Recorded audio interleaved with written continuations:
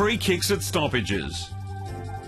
Umpires will continue to penalise illegal tactics at stoppages, including holding, blocking and pushing in the back.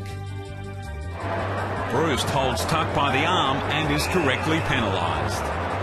Farito holds Zorko and is correctly penalised. Knocks it forward, free kick. Brisbane kick. Priddis holds O'Keefe and is correctly penalised. Goddard pushes Johnson in the back and is correctly penalised. Push out, Stephen Johnson. In this example, Cornelio blocks Hocking and is correctly penalised.